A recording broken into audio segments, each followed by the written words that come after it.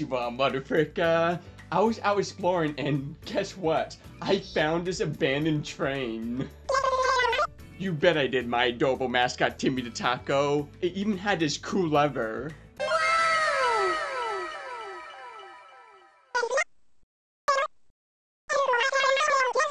Oh, I had a feeling that pulling it wasn't a good idea. But I pulled it anyways. Adventurous spirit! Relax, it looked abandoned.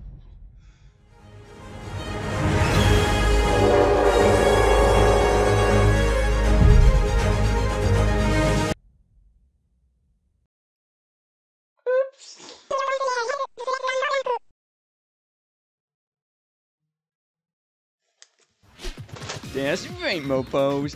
In this edition of Anime Games Blank Edition, we're playing a whole bunch of anime train games to figure out how to stop the train. We're talking train-themed visual novels, licensed games based on train-themed anime series, and even a long-running anime-style train series.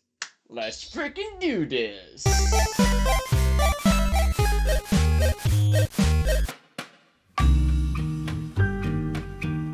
First up on our anime train game adventure are a couple train themed anime visual novels, with the first one being Ojou-sama Express by MediaWorks on the Sega Saturn and PlayStation 1.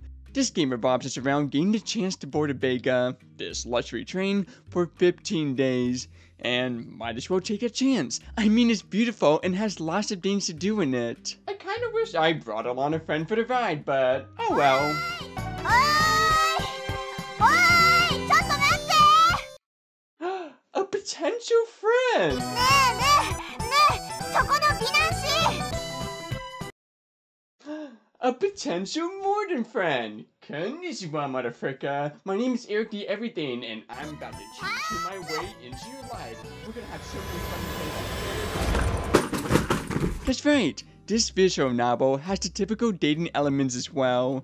The majority of this game revolves around you freely exploring around a train while interacting with a whole variety of quirky and unique girls. Make the right choice and hey, you have the chance to go on a date with said girl on one of the 15 stops the train makes in this game. Don't worry if you fail to get a date though, because this train has a ton of things to do as well. Seriously, I mean it when I say this is a luxury train.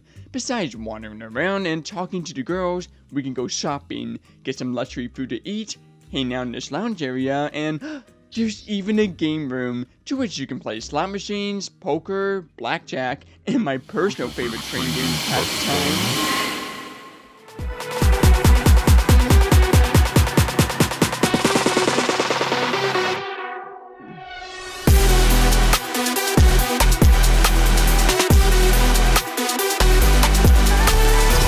Okay, is not that cool. It's even cooler. The shooting minigame has you playing the sequel of Arnold Assault, The Revenge of Barry Arm. This obscure mecha game that's pretty fun. And you'll want to keep playing this game and the other games in the game room because if you do well enough, you get more tokens. Get enough tokens and you get a special prize. And by special prize, I mean you can trade your tokens with one of the girls to get your alarm clock. Yeah, no joke. And if that wasn't weird enough, when you use your alarm clock, whichever girl you got the alarm clock from will motivate you with a cute good morning message. Which implies that all the girls in this game used to wake themselves up with a recording them wishing themselves good morning, and I kinda love that. You are so amazing, Eric. You are gonna get that sassy butt up and get all the ladies, unlike that loser Timmy the Taco. Wait, no! From there, I'm sure you can imagine how this game works. It's just a charming dating sim with the added mechanic of enjoying the present moment train style. My only complaint is that you can't tell where the girls are, so you're just blindly going from place to place hoping some girl's there. To which, if not, sorry, day's over. You can talk to the train conductor who will tell you where the girls are, but even then they might not be there because you could have dismissed them like Ugh. Stupid, stupid, stupid! You know what, girls? I'm gonna go after the train conductor now because at least she's convenient for my live in the moment benefit. I had a feeling that was the case. So I conveniently found a game that's all about dating train conductors. This is Tetsudou Musume DS, Terminal Memory on the Nintendo DS by Tomy. And you were tasked with the assignment of taking pictures of the people working in the railway industry to help them boost sales. And did I mention that the people you need to take pictures are are conveniently all women? Seems pretty easy enough. You just snap a camera and boom. Oop, I need you to move a little to the right.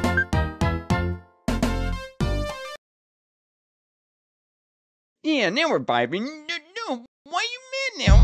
Mm. Oh, we have suggestions to give her at the bottom. Let's see. Let's suggest she should look more serious. Oh my gosh, stop moving!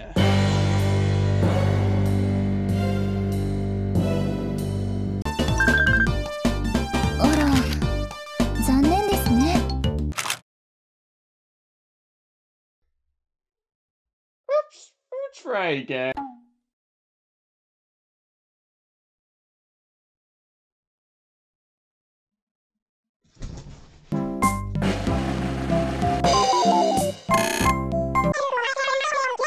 You know what? She deserved it. She just kept making these mad faces, She kept moving left and right like. Ah! Oh no! I'm gonna feel the wrath of a train conductor. Whatever shall I Okay, let's get back on track and explain what the heck's going on here. To take the perfect picture, see this heart, your goal is to make it flash red. You can make the heart red by suggesting the girl to do various options such as asking the girl to smile, make a serious face, moving a little, etc, etc. It all really depends on the personality of the character and what they prefer. And this is where the game honestly shines. Just like the last game, this game gives you free time to explore around and get to know these girls. Unlike the last game though, your motivation isn't to date them, but rather listen to their struggles and find keywords they mention to ensure you can construct a perfect picture for them. Some girls might want a serious picture to show how serious they are about their train. Some girls might want to go for that friendly vibe, and heck, one girl even wanted a picture of her Madam Purvis to show that she's that mother frickin' railroad boss.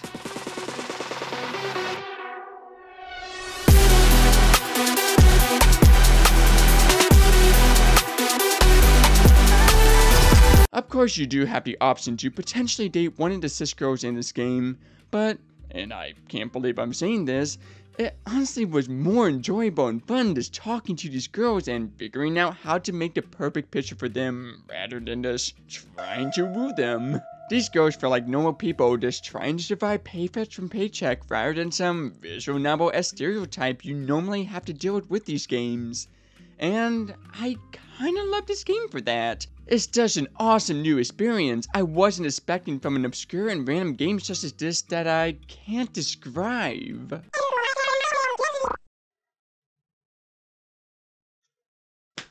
You have the most beautiful eyes.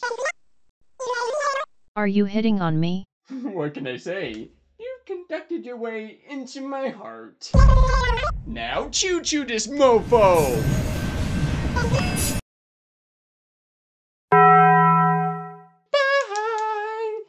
Alright. Let's see. We got a Dane sim based on girls on a train, a Dane sim based on girls working on a train. What's next?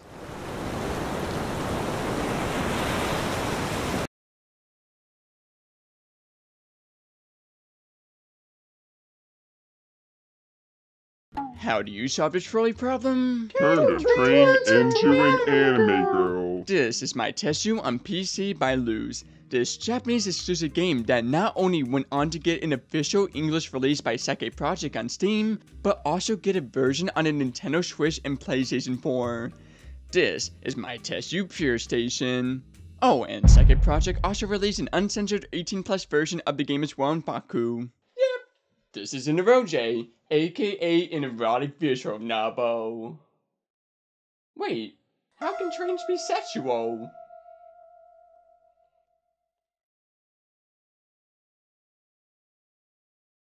Oh no! 私は蹄鉄8620形状機機関車トップナンバー8620号専用レールロード86と申しますレールロード Oh, she's an Imperial Railway 8620 type steam engine 8620 Liberty Blobby Dini. Not some little girl. It's totally okay to not sexualize her or any of that stuff. Let me just calm down. She's the little horn chew thingy for the train. Let me just honk it real quick. If you are someone who can get past the very young looking characters in this game though, unironically, this is actually a really emotional game with a lot of interesting elements for train assessed people. Your goal in this game is to work together with these trains in order to help preserve the small town of Ohaitoyo, which is facing various challenges such as economic decline. Yeah, this is what the majority of the game centered around, and not what you expect from a typical Roge. Don't get me wrong, you still are dealing with the typical Roge style shenanigans. Gee whiz, I wonder where we need to put that key in this train to unlock her. We have to do what to turn on the train? よくあることなのか？レールロードとマスターとで風呂に入るのは。はい。私は相鉄様の前一人のマスターと長くお付き合いをしていましたがその方とはいつも。うん。How in the heck are we taking a bath with trains?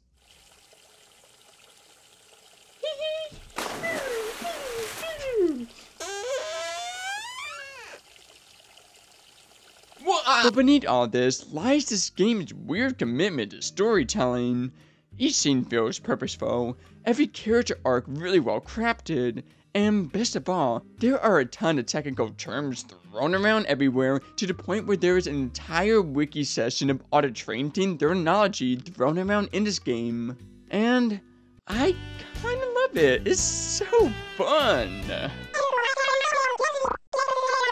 And these train girls got some movement to them as well. This game uses this true card emote, which brings the sprites to life in ways you wouldn't expect. This adds a whole new level of immersion to the experience, making it feel like you're right there with these train girls in the bath together. Sorry, I still can't get over that. And that concludes our train theme anime visual novels. There are some honorable mentions like Initiating Station, a visual novel based on the anime girl themed mascots of the Cairo Slum Metro, as well as S Express and Fushigi Densha, two other games that are similar to Ojou-sama Express with an Oroge twist. But I want to live in a moment with another type of anime train themed games.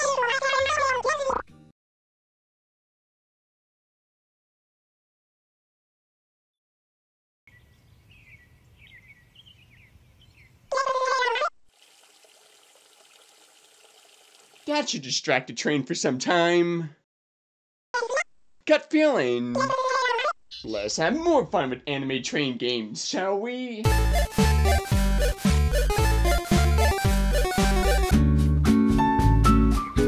Galaxy Express 999 is an old shonen manga by Leiji Matsumoto that was released all the way back in 1977.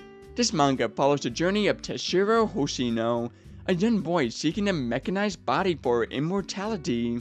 How he gets said body? By traveling on the galaxy's first 999, a flying space train. This series also happens to have a couple of video games as well. This is Escape from Cyber City on the Philips CDI by Phantom Pictures, a the arcade game Freedom Fighter.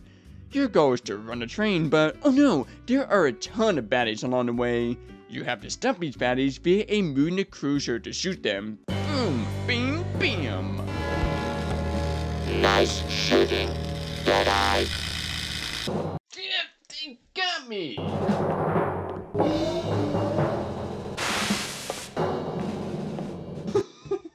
That's it? A jinky little jail cell? Nothing you can do can dampen my spirit.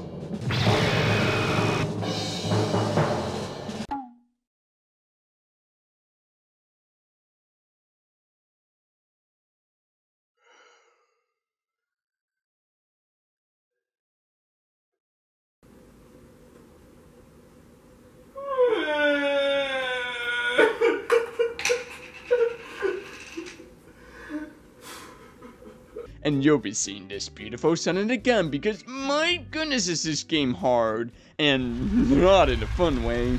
Even on Rookie Mode, the easiest mode in this game, you are dealing with a really laggy cruiser that doesn't move half the time, enemies that only give you literal milliseconds to respond, and only 3 lives to complete in the entirety of this 20 minute game to which, if you die, LOL, watch this cutscene and start all over again. And that's not even the worst part of this your cruiser isn't only a weapon, but also apparently your body as well. So whenever you hover over a fallen crack, even for the slightest bit, oop, you fell. And to make things even worse, you don't even know what to avoid or shoot half the time. Take this car for example. Oh no, it's coming at you. Do you shoot it? No, silly you. You have to dodge it with the cruiser. Huh? Oh no! There's a car coming towards me! Ah!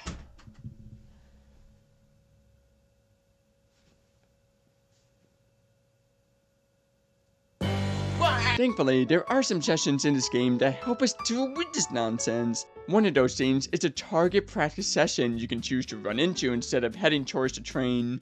This session is pretty basic, as it only features well, practice targets to shoot at. If you want to prepare for the real dangers this game showcases, you gotta check out the Cyber City Tour session of the game. And by dangers, it just hypes you up for what you're gonna be doing in this game. Oh no, the deadly combo cars? Gaps, not the murder freaking manholes!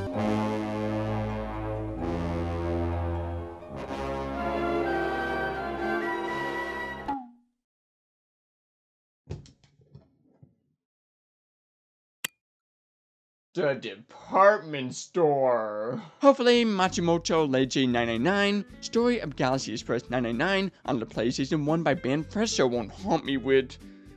Ugh, department stores. This game is an adventure game to which, oh no, our flying space train crashed. We need to find a couple of parts in this western town in order to fix our flying space train. And this is where the first part of the game shines. A lot of this game has you going around asking questions on how to get these train parts. You'll encounter this nice old man that will give you tips. This sheriff that is very adamant we don't wander into a conveniently inconvenient sandstorm. And a whole bunch of rude shopkeepers that are no joke.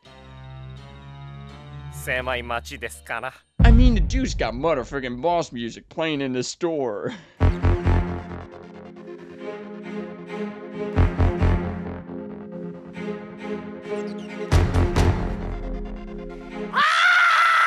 and this boss music is disturbed, as this guy is selling the parts we need for 100 gold coins, but oh no, we only have 30.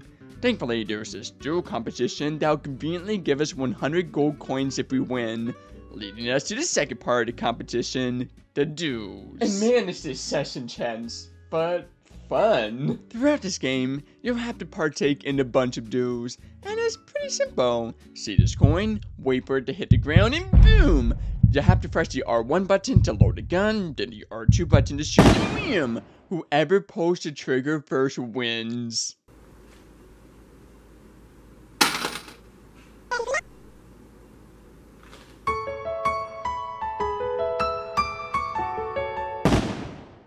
And you'll be shooting a lot in this game, as while you're walking around trying to progress with the story, uh-oh, random encounter time! These random encounters are similar to the duels, you got the one-hit kills, etc, etc. But unlike the duels, you have the ability to move and use the terrain to your advantage. This is such a fun and quick random encounter system that I love. To see this Pokemon, why can't you do something cool like this for your random encounters? My favorite part has to be the random things the game makes you do as well. From the really fun and creative boss battles, original story for the series, getting to play the iconic characters in the series, exploring the inside of Galaxy Express 999, and even, get this, controlling this motherfucking cannon. There are just a ton of really cool things to do here.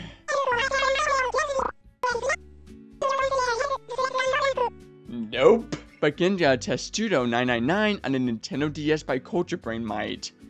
It doesn't.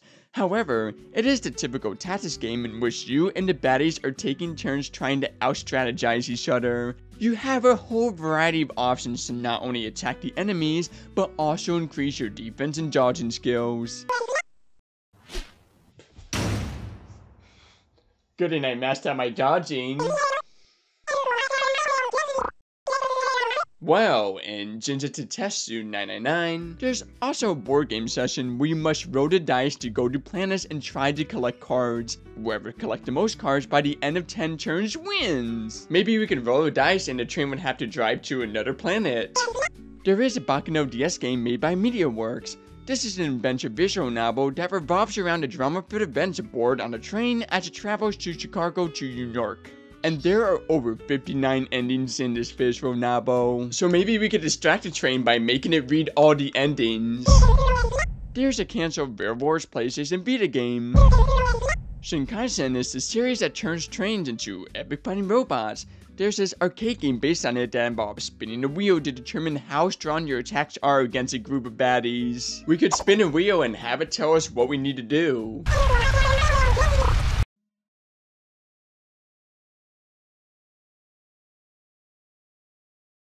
Stupid, no freedom, no work thingy.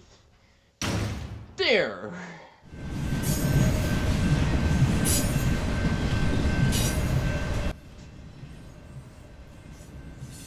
Uh, the train's not stopping. It's gonna crash!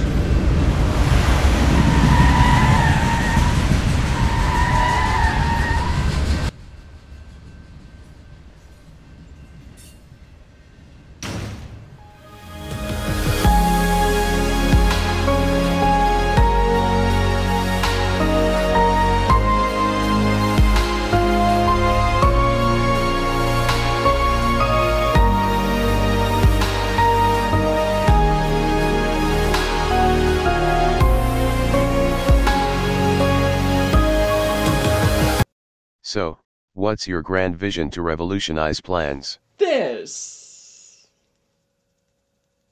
What? This is the Densha De D series, a series of fan games based off the self-published Initial D manga that replaces the cars with trains. There are a total of 5 of these games, but they are pretty similar, as they all involve you trying to outmaneuver and outdrip the opposing train fighter. How do you outmaneuver the other trains, you might ask? Well, by trying to go as fast as possible. Watch out though, go too fast and it's very easy to fall off.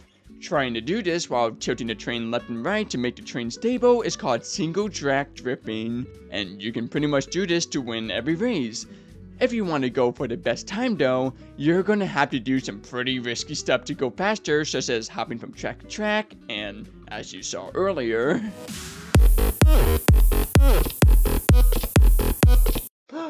I solved it!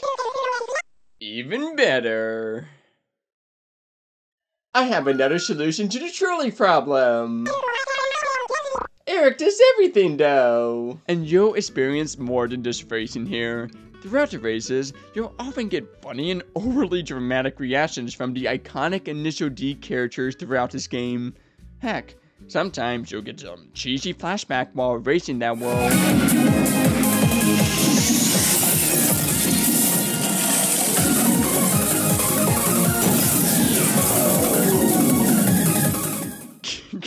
You this magical girl S transformation and make your train race faster. I don't know how that works, but man is that awesome. This is just a goofy fan game that doesn't take itself seriously, and I love it. Behind all the goofiness lies a love letter to the initial D series though, and nothing represents that better than the museum mode in these games. In this session, you can listen to the Eurobeat songs this game uses, as well as look at the train mottos. And man, I love how these train models reference the various cars from Initial D as well. Will this change your mind? Bam! You just added our logo on a train. Hmm. Anyway, that concludes some licensed anime games based on trains. There is one more hope though, one anime style train series that could help us stop the train. Timmy, open up that honors chest right next to you. Let's talk about.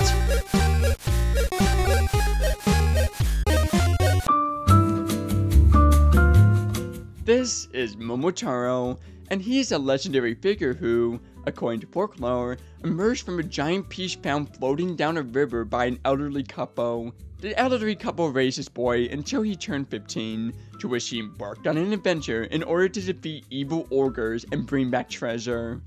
Hudson Soft decided to retell this folklore in anime-style video game form, thus the video game Momotaro Densetsu was born. And man was creating this game a good idea. This simple role-playing Famicom game went on to ship over 1 million copies, and with its success came a whole bunch of sequels and spin-offs as well. One of those spin-offs just so happens to be all about traveling aboard on this electronic train board game style. This is Momotaro Dentetsu on the Famicom. Alright, let's boot this baby up.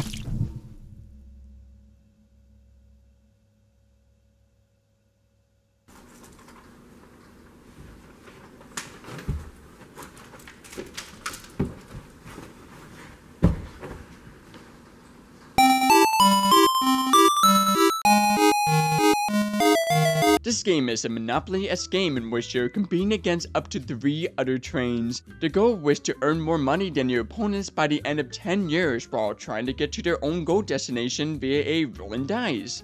How do you earn money you ask? By buying assets of course. And there are a ton of options when buying these assets. When you land on an asset space, you have the option to either buy a business or railroad, buy one of these and if you manage to keep it, you'll get a ton of money at the end of the year.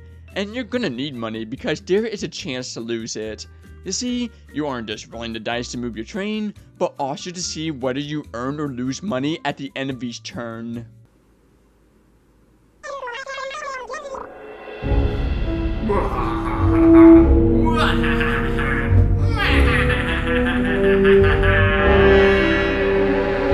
Be warned though, if you're in debt, you'll have no choice but to sell the business.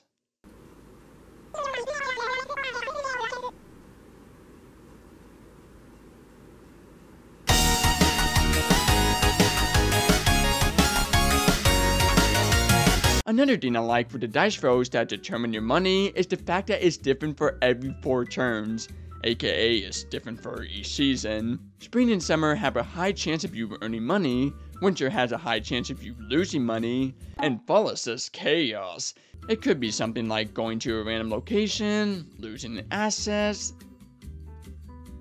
and even scamming someone. But enough about the fancy business stuff. Have you seen some of the locations you get to explore? We're talking beaches with giant sentient sunscreens, a weirdly obsessive amount of hot springs, and heck, even some hidden spaces like music concerts.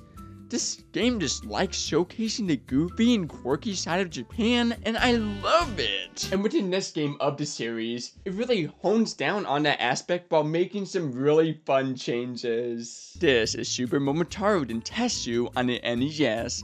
Just like last game, this game revolves around you trying to get more money than the opposing trains via buying assets. But unlike the last game, all of the trains are trying to get to the same location to earn some of that money. After someone gets there, it moves to a different location. Oh great, I was the first way to get to that destination, and now you introduce a new destination that's even more inconvenient for me to get. Ugh. Wait, go back. Who's that guy behind me?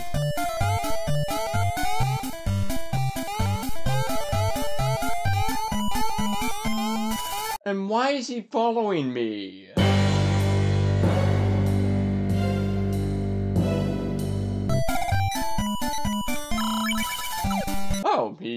brought a new asset for me. Uh, thanks, random guy in a loincloth. cloth. It's okay. It's okay. Maybe I can make money back with this asset.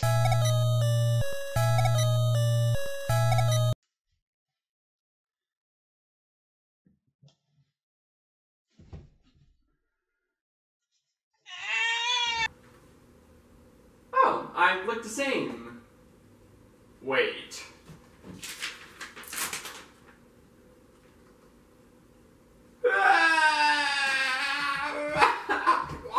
This motherfucker is the god of poverty, and you are stuck with him if you are the furthest person away from the location once someone lands on it. And you do not want to be stuck with this guy. Not only does he put you in debt as you just saw, but he can sell your assets, force you to move to inconvenient spaces, and even call upon his ginger spinning top friend to quiz you, to which he actually gives you points if you get it right. That's nice. And that's not the only way you get points in this game. The last game got rid of the dice rolls that gave or lost you money in favor of another system. See these titles? Depending on which one you land on after the roll, you can lose and get money, land on chops, and...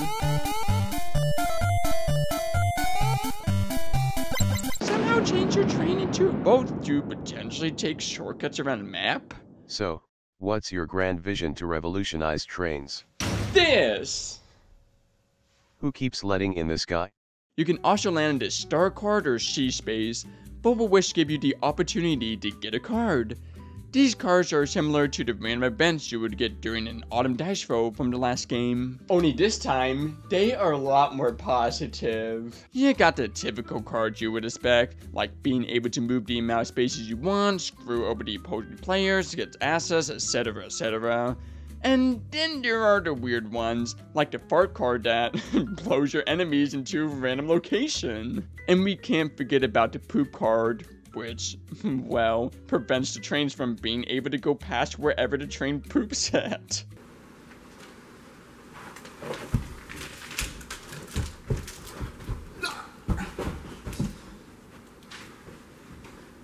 And it's a relief that the Japanese cultural aspects were cranked up to the max in this game.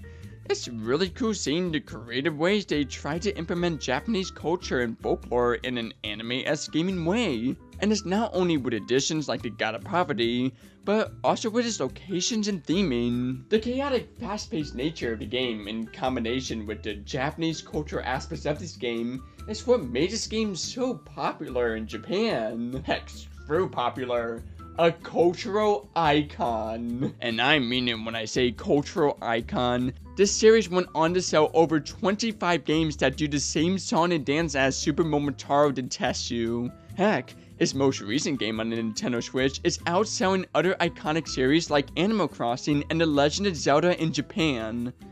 And that's the key word.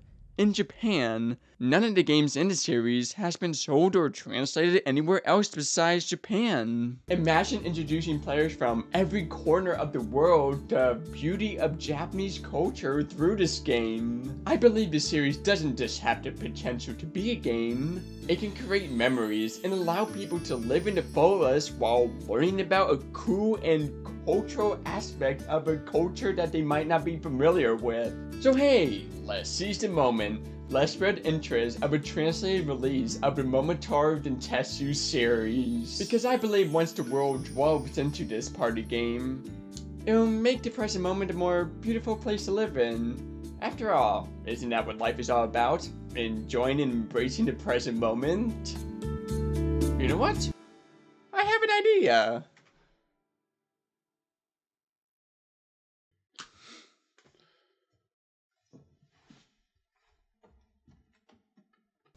Hey, train!